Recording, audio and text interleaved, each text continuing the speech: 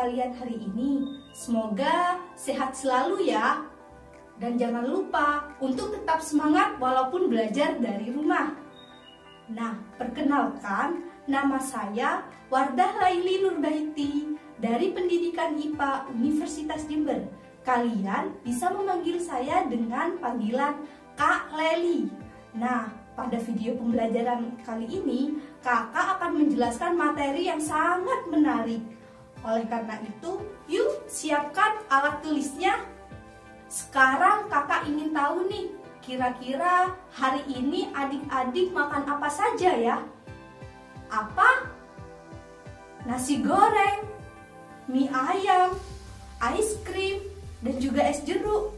Wah, enak sekali itu. Kira-kira nih, ketika keesokan harinya adik-adik buang air besar, apakah bentuk makanan yang dikeluarkan sama dengan bentuk awal makanan yang kita makan pada hari sebelumnya?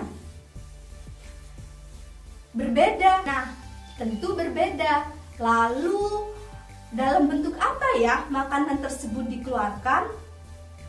Hmm, yap, tepat sekali dalam bentuk feses. Nah, makanan tersebut kenapa kok dikeluarkan dalam bentuk feses? Ya, karena makanan tersebut dicerna terlebih dahulu di dalam tubuh kita. Oleh karena itu, pada video pembelajaran kali ini kakak akan menjelaskan tentang sistem pencernaan pada manusia.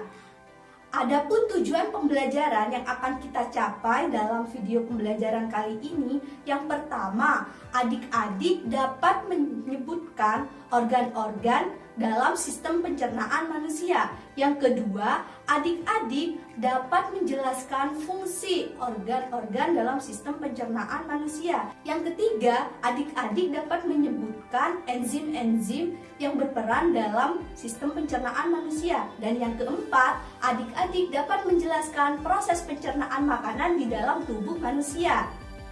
Sistem pencernaan makanan merupakan proses pemecahan makanan dari molekul kompleks menjadi molekul yang lebih sederhana yang melibatkan organ-organ pencernaan. Nah, makanan tersebut nantinya akan dialirkan ke seluruh tubuh kita melalui pembuluh darah. Berdasarkan prosesnya, sistem pencernaan pada manusia itu ada dua loh. Yang pertama, ada pencernaan mekanik dan yang kedua, ada pencernaan kimiawi. Pencernaan mekanik merupakan proses pemecahan makanan secara fisik dari makanan yang berukuran besar menjadi makanan yang berukuran lebih kecil. Sedangkan pencernaan kimiawi merupakan proses pemecahan makanan dari molekul kompleks menjadi molekul yang lebih sederhana dengan bantuan enzim-enzim pencernaan. Kira-kira bagaimana ya makanan tersebut dicerna di dalam tubuh kita? Lalu organ-organ apa saja yang berperan di dalamnya? Kuy, kita pelajari bersama-sama. Organ pencernaan pada manusia dibagi menjadi dua loh. Yang pertama, organ pencernaan utama. Yang kedua, organ pencernaan tambahan. Organ pencernaan utama disebut juga dengan saluran pencernaan yang dimulai dari mulut, kerongkongan, lambung, usus halus, usus besar, dan terakhir anus. Sedangkan organ pencernaan tambahan yaitu kelenjar ludah, hati, kantung empedu, dan juga pankreas. Yuk kita bahas satu persatu dari organ-organ pencernaan tersebut. Organ yang pertama adalah mulut. Mulut merupakan pintu gerbang masuknya makanan ke dalam saluran pencernaan. Nah, di dalam mulut terjadi dua proses pencernaan. Yang pertama, pencernaan secara mekanik, yang kedua, pencernaan secara kimiawi. Pencernaan secara mekanik di dalam mulut terjadi ketika makanan dikunyah oleh gigi sehingga ukurannya menjadi lebih kecil. Pencernaan kimiawi terjadi ketika makanan yang sudah bercampur dengan air ludah. Nah, di dalam air ludah tersebut terdapat suatu enzim yang disebut dengan enzim amilase atau enzim petialin. Nah, enzim amilase tersebut memecah amilum menjadi maltosa. Air ludah dihasilkan oleh kelenjar ludah. Makanan yang dicampur dengan air ludah disebut dengan bolus. Nah, bolus tersebut akan ditelan ke dalam kerongkongan atau esofagus dengan bantuan lidah. Nah, organ yang kedua adalah kerongkongan atau esofagus. Kerongkongan merupakan saluran yang menghubungkan antara mulut dengan lambung. Nah, di dalam kerongkongan terjadi suatu gerakan yang disebut dengan gerakan peristaltik. Gerakan peristaltik merupakan gerakan yang ditimbulkan oleh kontraksi otot-otot esofagus sehingga menimbulkan suatu gerakan meremas dan mendorong makanan menuju lambung melalui suatu katup yang disebut dengan katup gastroesofageal. Nah, gerakan peristaltik ini mampu melawan gaya gravitasi loh. Oleh karena itu, kita masih dapat menelan walaupun Kepala kita posisinya lebih rendah daripada kaki kita. Tapi ingat, jangan dicoba-coba karena hal tersebut sangat berbahaya. Nah, organ yang ketiga adalah lambung. Di dalam lambung terjadi dua proses pencernaan. Yang pertama, proses pencernaan secara mekanik dan yang kedua, proses pencernaan secara kimiawi. Pencernaan secara mekanik di dalam lambung terjadi karena adanya gerakan mengaduk dan meremas-remas makanan oleh otot-otot dinding lambung. Sedangkan pencernaan kimiawi di dalam lambung terjadi karena adanya bantuan dari enzim lambung.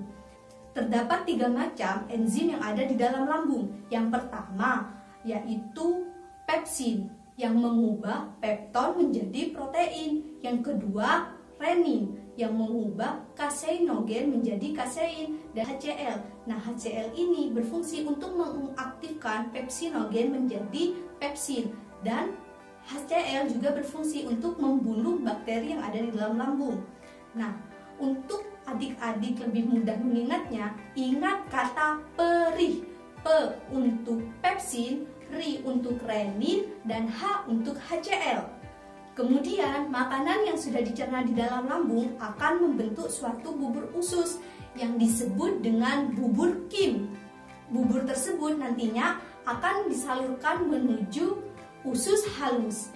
Pada usus halus dibagi menjadi tiga bagian loh. Yang pertama ada duodenum atau usus 12 jari. Yang kedua ada jejunum atau usus kosong dan yang ketiga ada ileum atau usus penyerapan. Yuk, kita pelajari satu persatu dari bagian-bagian usus halus. Yang pertama ada duodenum. Di dalam duodenum terjadi pencernaan secara kimiawi dengan bantuan enzim dari kantung empedu dan juga pankreas. Karena duodenum ini merupakan muara saluran dari kantung empedu dan juga pankreas. Nah, pankreas menghasilkan empat enzim yang pertama, peptidase yang mengubah ikatan peptida menjadi asam amino. Yang kedua, lipase yang mengubah lemak menjadi asam lemak dan gliserol. Yang ketiga, tripsin yang mengubah pepton menjadi asam amino. Dan yang keempat adalah amilase yang memecah amilum menjadi maltosa. Agar kalian lebih mudah mengingatnya, ingat kata PLTA P untuk peptidase, L untuk lipase, T untuk tripsin, dan A untuk amilase. Mudah kan? Selain pankreas, organ tambahan lain yang berperan yaitu hati. Hati merupakan organ yang memiliki kantung empedu dan berfungsi untuk menghasilkan cairan empedu. Selain itu, hati juga berfungsi dalam detoksifikasi racun di dalam tubuh dan juga menjaga keseimbangan kadar glukosa di dalam darah. Selanjutnya ada kantung empedu. Kantung empedu berfungsi untuk menyimpan getah empedu yang dihasilkan oleh hati. Nah, getah empedu tersebut mengandung suatu pigmen yang disebut dengan bilirubin. Oleh karena itu, getah empedu berwarna kuning kehijauan. Getah empedu ini berfungsi untuk mengemulsikan lemak. Kemudian, dari duodenum makanan akan diteruskan ke jejunum. Nah, di dalam jejunum terjadi pencernaan secara kimiawi dan penyerapan sari-sari makanan. Pencernaan kimiawi di dalam jejunum dibantu oleh enzim yang dihasilkan oleh jejunum itu sendiri. Nah, enzim apa saja ya? Enzim pada jejunum yang pertama yaitu sukrase yang mengubah sukrosa menjadi glukosa dan fruktosa. Yang kedua yaitu lipase yang mengubah lemak menjadi asam lemak dan gliserol. Yang ketiga yaitu laktase yang mengubah laktosa menjadi glukosa dan galaktosa. Yang keempat yaitu enterokinase yang berfungsi untuk mengaktifkan erepsinogen menjadi erepsin. Kemudian erepsin nantinya akan mengubah dipeptida menjadi asam amino. Dan yang kelima yaitu maltase yang berfungsi untuk mengubah maltosa menjadi glukosa. Agar adik-adik mudah mengingatnya, ingat kata S2 S untuk sukrase, L untuk lipase, L yang kedua untuk laktase, E untuk enterokinase, dan M untuk maltase. Nah, makanan dari jejunum nantinya akan diteruskan ke ileum. Di ileum hanya terjadi penyerapan sari-sari makanan saja. Proses penyerapan makanan di dalam usus halus dapat terjadi karena usus halus memiliki struktur seperti lipatan yang disebut dengan fili. Jadi semakin banyak fili, maka proses penyerapan sari-sari makanan akan semakin efektif. Nah, sari-sari makanan yang diserap oleh usus halus nantinya akan dialirkan ke seluruh tubuh melalui pembuluh darah.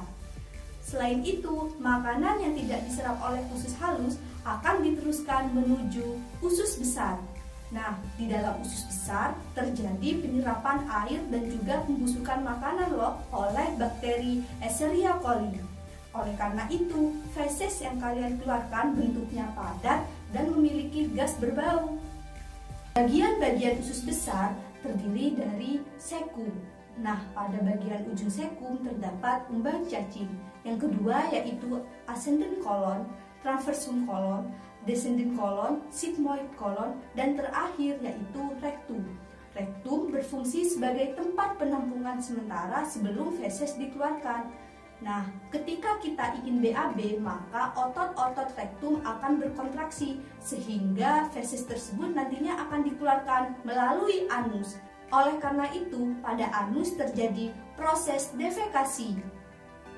Jadi, proses pencernaan makanan pada manusia dimulai dari mulut, kerongkongan, lambung, usus halus, usus besar, dan dikeluarkan melalui anus. Selain itu, juga terdapat organ-organ tambahan yang berperan dalam sistem pencernaan manusia. Yang pertama yaitu kelenjar ludah, kemudian hati, kemudian kantung empedu, dan terakhir pankreas. Jadi sampai di sini adik-adik sudah paham bukan bagaimana proses pencernaan makanan di dalam tubuh manusia?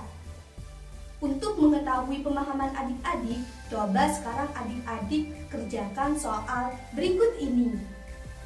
Dan jangan lupa jawabannya ditulis di kolom komentar ya. Sekian penjelasan dari kakak. Apabila kakak ada kesalahan, kakak mohon maaf ya. Terima kasih kepada adik-adik yang sudah menonton video pembelajaran dari kakak. Sampai jumpa di video selanjutnya. Wassalamualaikum warahmatullahi wabarakatuh.